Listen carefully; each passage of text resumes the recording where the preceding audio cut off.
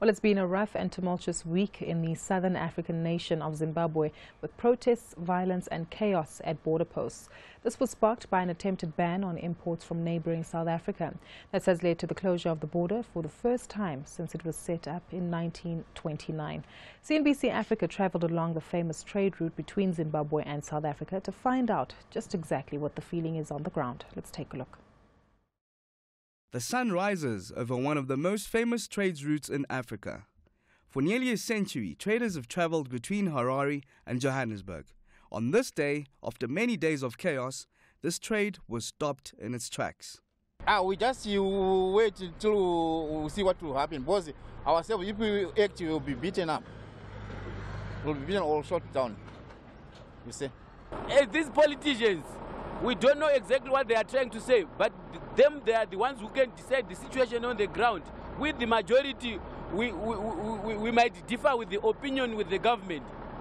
You see? What, what do you want as the majority? As the majority, we want to cross with the food. Since the food is scarce, is scarce in Zimbabwe, we want to cross with the food. But them, they've got a different idea. You see? People are very angry and uh, now they are trying to take uh, stand actions against the government. The town of Messina relies heavily on this trade between two of Africa's biggest trading partners, trade that's worth nearly $4 billion a year.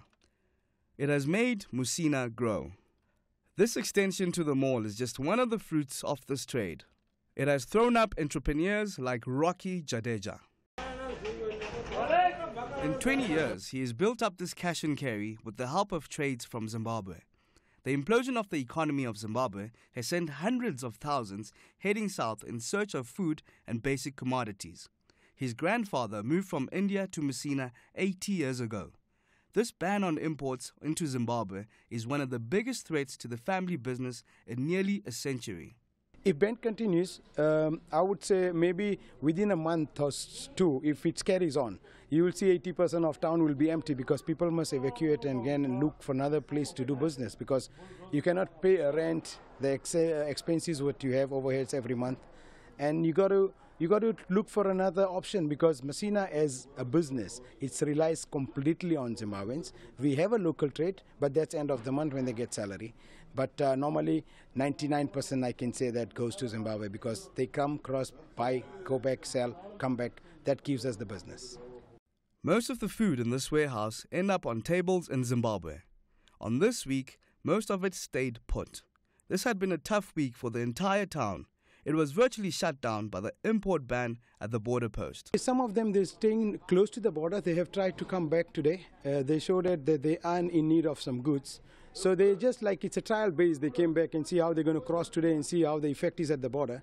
And then they will decide what to do afterwards. Maybe after Monday, if the things comes normal, that's what they're thinking after crossing today. And if the goods goes smoothly as they thinking, might it will reopen from Monday. Let's hope we're looking forward for a positive result. The only thing that is keeping Jadeja going is hope that his traveling customers will always get through. One of them is James Tobagala from the town of Beitbridge on the Zimbabwe side of the border. He may be here, but the only problem is he's not buying as much as he usually does. He fears it will be seized by officials at the border. In fact, I could understand uh, there's a situation whereby they are trying to protect local industries because they are getting much affected by these imports. But it's a two-way, it's a two-way situation. You see, it's like robbing Peter in order to pay John. You see, that's where the thing is.